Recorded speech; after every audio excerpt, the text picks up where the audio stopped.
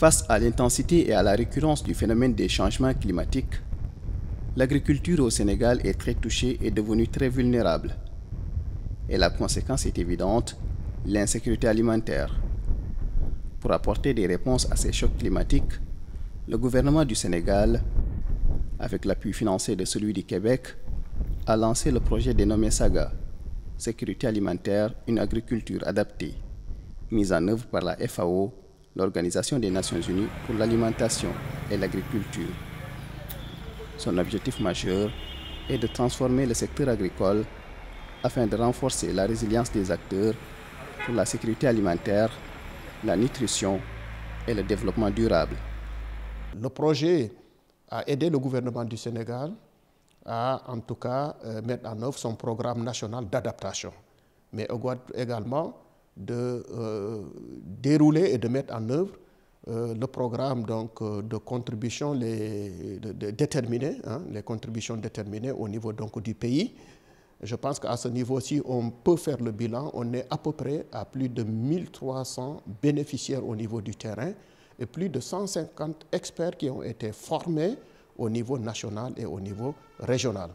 Je pense que c'est quand même des résultats très appréciables en trois ans et qui, euh, aujourd'hui, en tout cas, laissent espérer sur le terrain vraiment une, des perspectives vraiment prometteuses. Notre collaboration avec le Sénégal remonte à très longtemps. Euh, c'est intéressant d'ailleurs parce qu'on a plusieurs organismes de coopération internationale qui sont basés au Sénégal.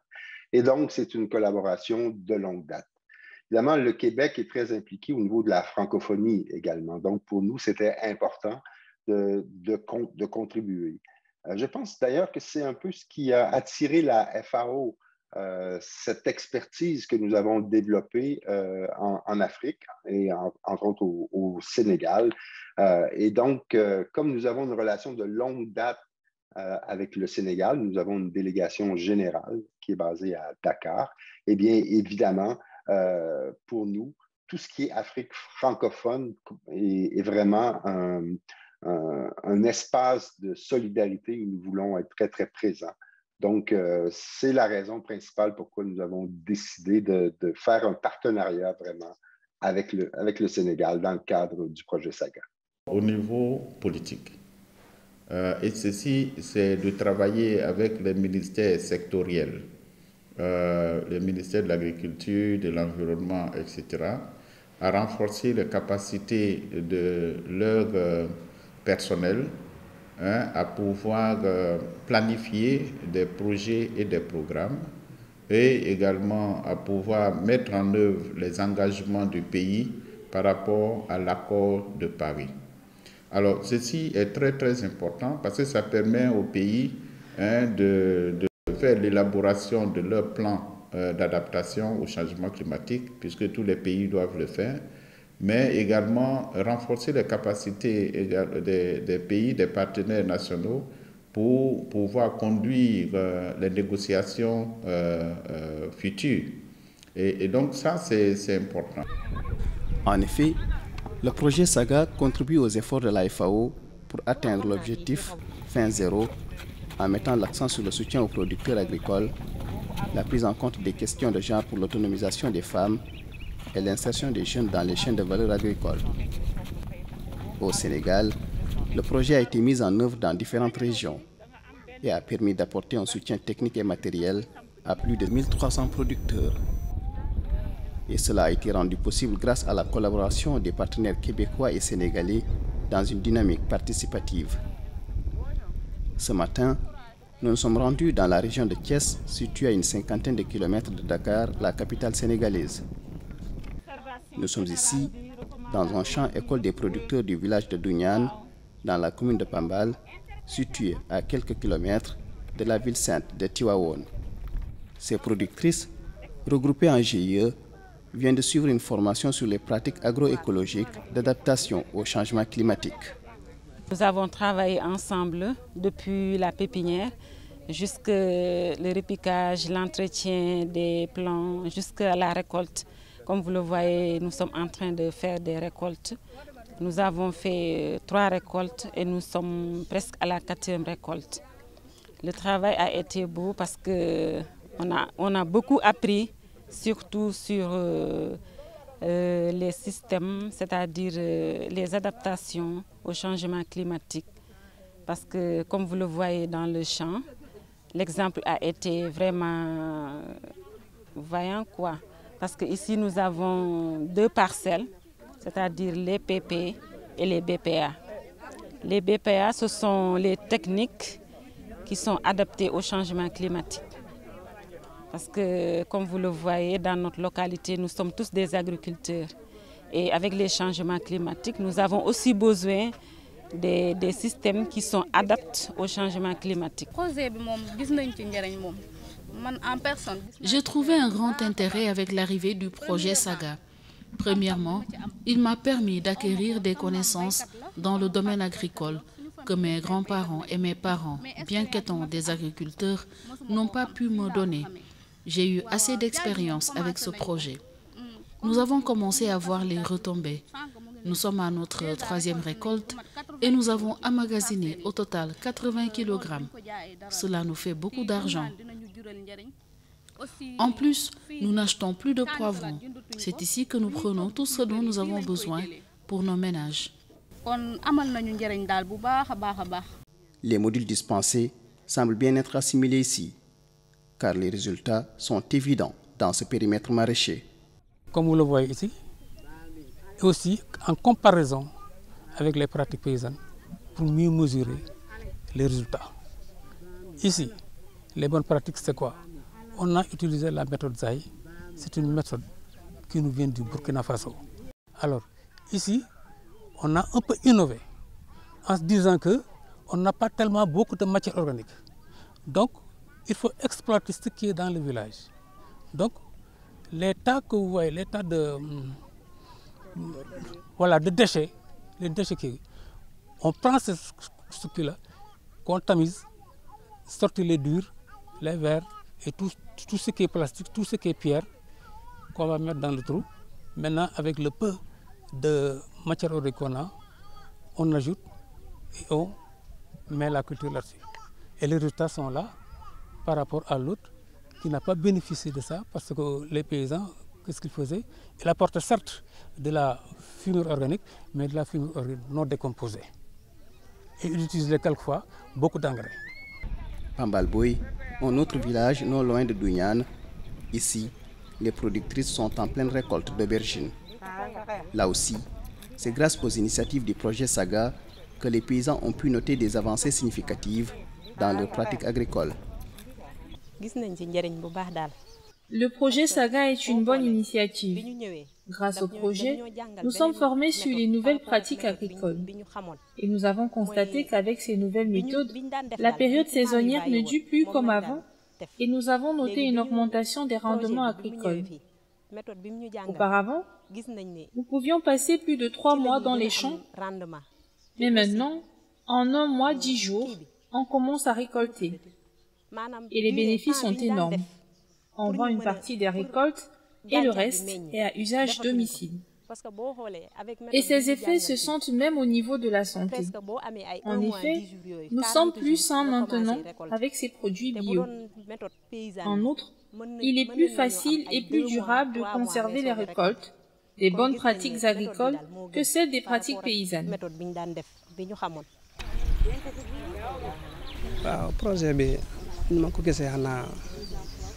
Le projet Saga est venu à son heure, car il a permis d'améliorer les pratiques agricoles des femmes du village. Je peux dire qu'en tant que chef de village, c'est la première fois que je vois un tel projet à Pambalboy. C'est un projet qui a vraiment soutenu la gente féminine d'ici. Je voudrais donc vous remercier très sincèrement pour cet appui à l'endroit des femmes et des jeunes de mon village. Et puis, ces acteurs jouent un rôle important dans la lutte contre l'insécurité alimentaire et nutritionnelle. C'est pourquoi le projet Saga les forme dans le domaine de la nutrition, notamment dans la transformation des produits locaux. Et ces femmes du village de Pandienou, trouvées en pleine session, sont toutes satisfaites du déroulement des activités.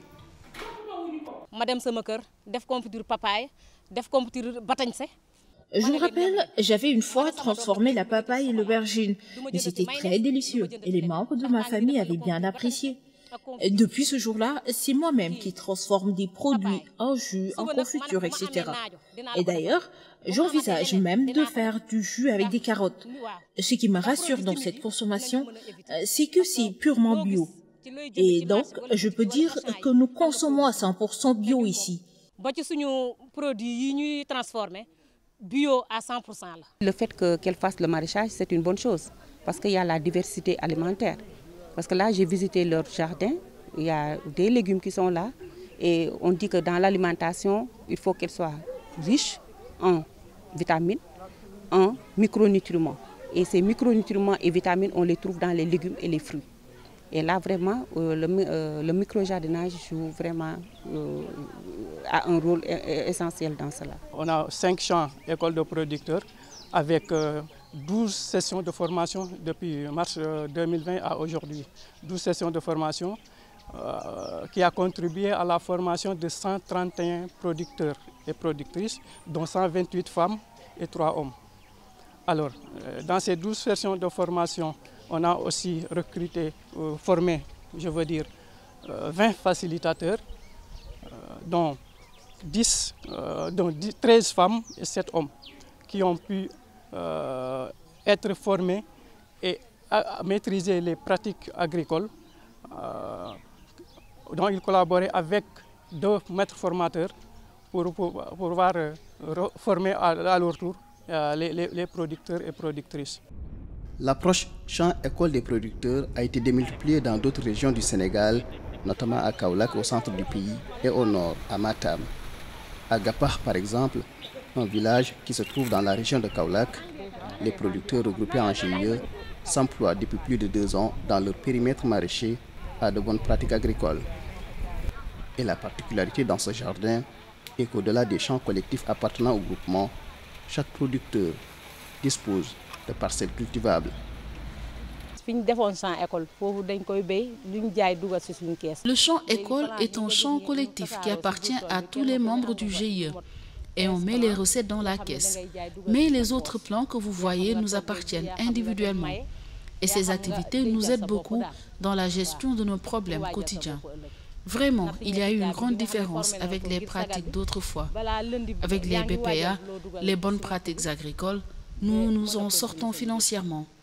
Et cela nous a permis de mieux prendre en charge l'éducation de nos enfants. Moi qui vous parle, j'ai trois enfants étudiants.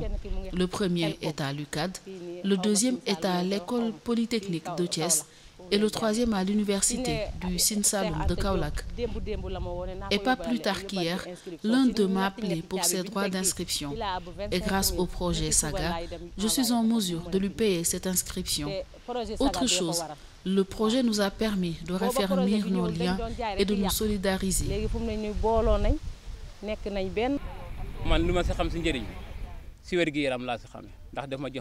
Ma santé s'est beaucoup améliorée depuis que j'ai commencé à consommer les produits bio. Il n'y a plus aucun produit chimique dans nos habitudes de consommation. Nous sommes reconnaissants à l'endroit des responsables du projet.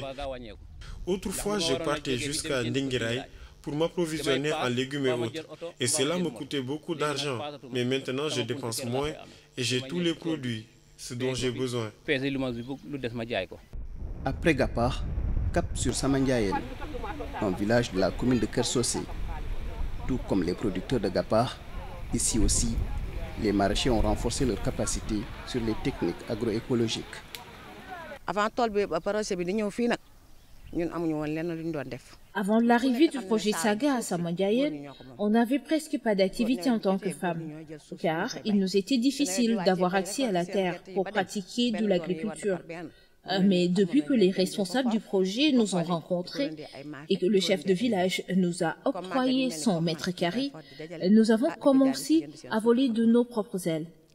Nous avons été formés sur les techniques agroécologiques d'adaptation au changement climatique. Aujourd'hui, nous sommes en mesure de pratiquer une bonne agriculture et les résultats sont là. Cette année, nous avons pu récolter au moins 70 kg sur une superficie de 20 mètres carrés. Maintenant, la donne a totalement changé. Nous ne sommes plus dépendantes de nos époux, de nos frères. Bref, nous sommes dépendantes de personnes. Nous sommes devenus autonomes. Et nous gérons nous-mêmes nos besoins. En outre, c'est avec ce projet que nous avons ouvert une caisse d'épargne.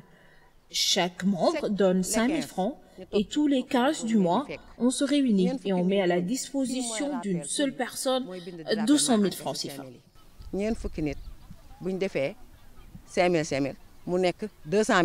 Depuis l'implantation de champ école des productrices avec le en partenariat avec Carrefour International et la FAO, on a eu l'impact, on, on, peut dire que l'impact c'est avec beaucoup de rendement sur les récoltes qu'on fait parce que avec le champ école, on a eu beaucoup de, de rendement sur la tomate et l'aubergine amère qu'on ne pouvait plus, qu'on ne pouvait pas avoir en période euh, hivernale et en période sèche. Parce que avec le champ école, on a étudié sur les atténuations et les adaptations. Les atténuations, c'est pour et chercher les semences adaptées au changement climatique et qui sont rapides. Pour les atténuations aussi, pour les adaptations aussi, il faut que les semences soient adaptées au climat où nous travaillons. Et dans le sol aussi. Parce que dans le champ école, on fait l'étude du sol, l'étude de la topographie et l'étude aussi du milieu.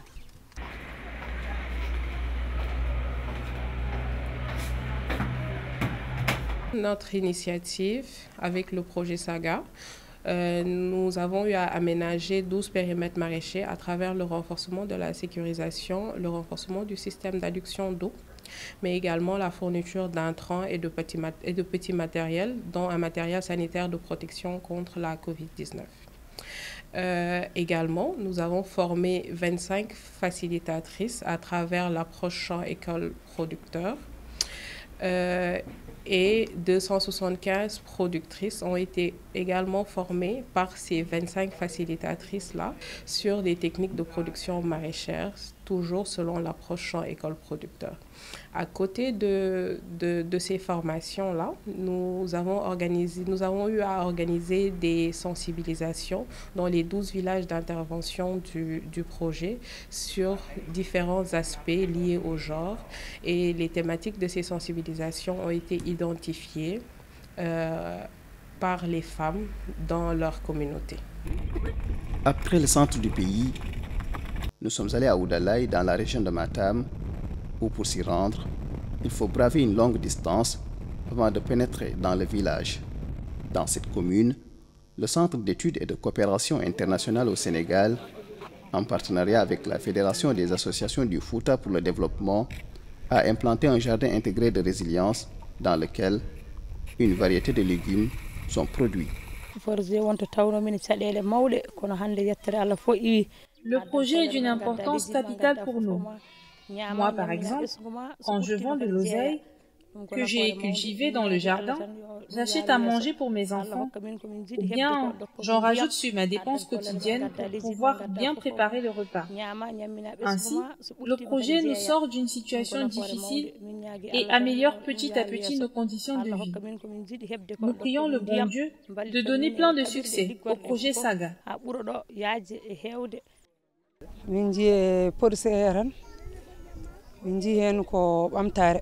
Grâce au projet, nous avons commencé à sentir le développement et le bien-être. Maintenant, nous pratiquons nos activités maraîchères aussi bien en saison des pluies qu'en saison sèche. Aujourd'hui, nous n'achetons plus de l'oignon et du piment. Jadis, on partait jusqu'à Wurosogi ou à Ranero pour acheter des condiments. Mais aujourd'hui, la plupart des légumes que nous consommons, nous les cultivons ici. L'initiative euh, qu'on appelle dénommée donc, euh, Jardin intégré de rés résilience a duré 26 mois et il y a eu 223 ménages ici, qui, qui sont autour donc, de l'activité qui s'y adonne. Et il y a eu donc au niveau de, de ce gire, donc on peut dire que le gire est mis en place et il est fonctionnel actuellement. Donc, la production, elle est là. Donc, dans, les, dans les deux années donc de, de, campagne, on a pu récolter plus de 60 tonnes. Donc, euh, toute spéculation confondue. Pour une valeur de presque de, 16 millions de francs CFA. Aujourd'hui, vu le volume des productions, on s'est rendu compte que ces femmes ont amélioré le quotidien, c'est-à-dire les repas, mais également ont la possibilité de vendre les surplus de production pour se faire un peu de, ressources. Et en plus de cela, on, a, euh, c'était un effet euh, très positif de la mise en place du jardin. Les femmes se sont regroupées et commencent à échanger entre elles, à développer des, synergies, ce qui leur permet aujourd'hui euh, de, réussir cette association-là et de pouvoir se projeter sur l'avenir au sein de leur communauté. Cependant, dans la mise en œuvre du projet Saga, les producteurs ont été confrontés à certaines difficultés dans les différentes régions. Il s'agissait entre autres du manque d'eau, de l'inaccessibilité aux terres arables, de clôtures défaillantes pour la sécurisation de leur production. Notre principal problème est lié à l'accès à l'eau.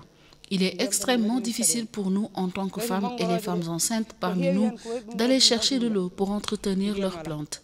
Donc, nous demandons un système moderne d'arrosage afin que ce casse-tête soit un mauvais souvenir pour nous.